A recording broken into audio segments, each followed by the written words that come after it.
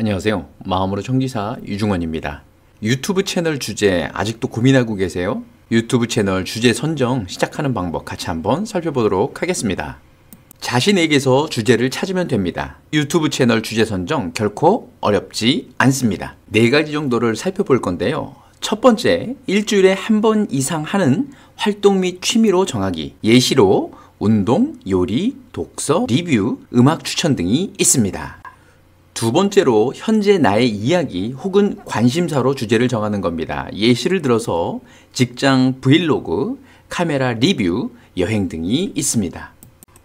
세 번째로 현재 고민을 채널 주제로 선정하는 겁니다. 예시를 들어서 건강, 그러니까 건강 정보, 건강 극복기, 경제는 엔잡러 도전기, 재테크 후기 등이 있습니다. 네 번째로 내가 가장 잘할 수 있는 것을 주제로 선정하는 것입니다. 예를 들어서 촬영에 관련된 건데요. 영상 촬영 방법 공유 혹은 강의. 그리고 메이크업인데요. 제품 후기 혹은 메이크업 방법.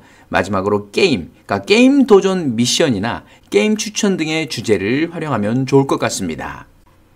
성공적인 크리에이터가 되는 방법은 바로 지금 시작하는 것입니다.